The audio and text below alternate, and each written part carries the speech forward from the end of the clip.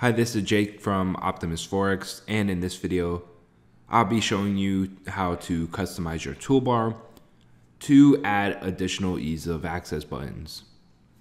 Now, before I do proceed to the video, I would like to mention that if you would like to try out MetaTrader 5, or you're in the market for a new Forex trading platform and you're just looking for something new, feel free to try out MetaTrader 5 provided to us for absolutely free this page can be accessed through the link at the very beginning or the very end of the video.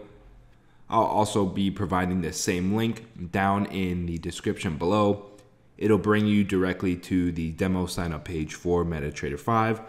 So all you'll need to do is fill out the demo signup form and you're ready to go.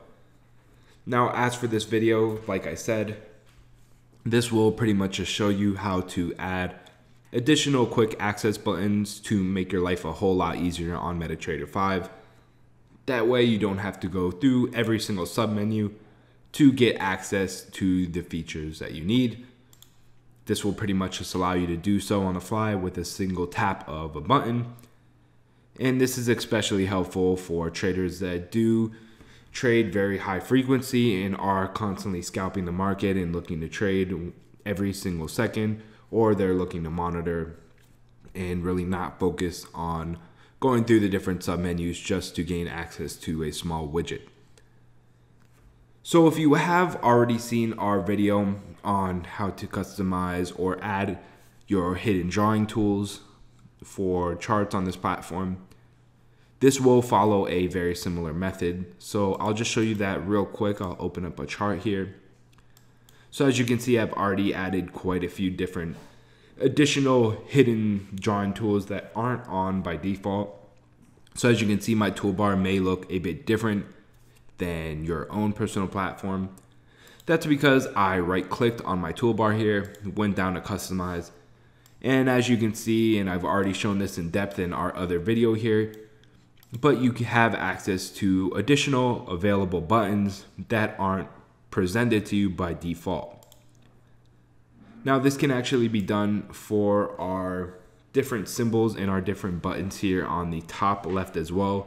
Pretty much for any toolbar section up at the top here. There's quite a few addition, additional buttons that can be added that aren't activated by default.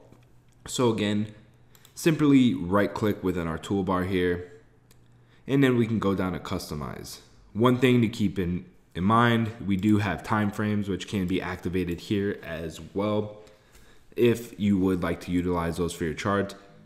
So you can easily change the time frame of your chart with a simple click rather than having to go in here and or manually scale in and out of the time frame you'd like.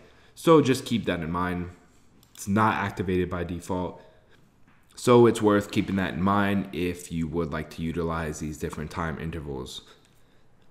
So now back to our toolbar up at the top here. For all these additional buttons, simply once again right click, but in this time the section to the left over here, customize.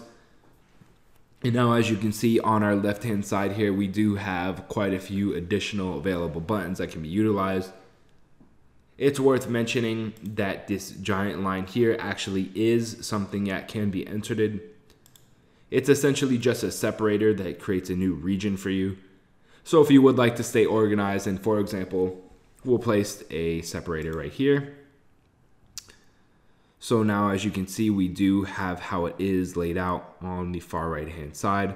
So you can come down here if I want to add a separator in between symbols, I'll do so.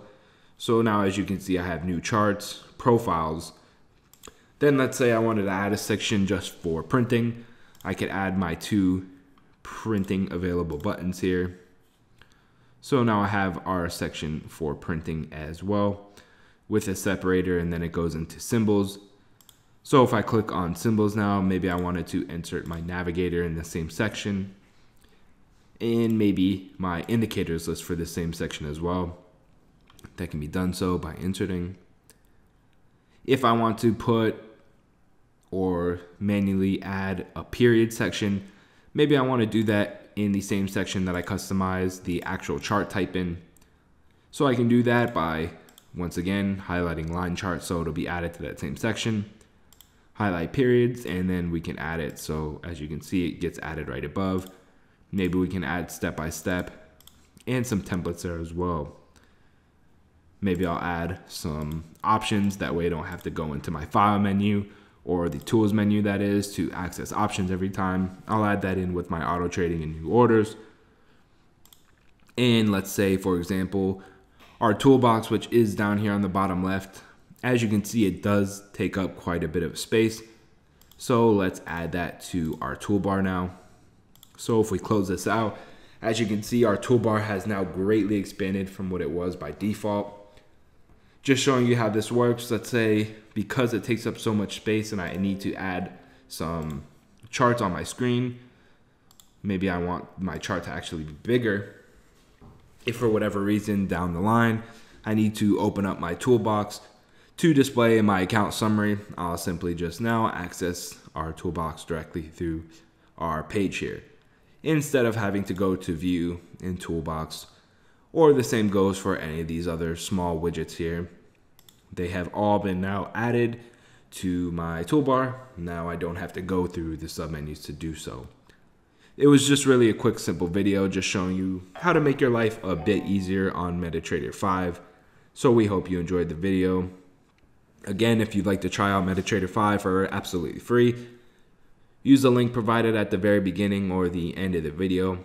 This same link will be provided down in the description below to bring you directly to the demo sign up page for MetaTrader 5. Thanks for watching this video.